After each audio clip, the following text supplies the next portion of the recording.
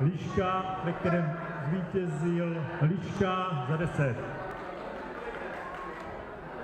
Na tatami 1 nastoupí Šihavý Jakub, Uherský Brod, Kostka Josef, Uherský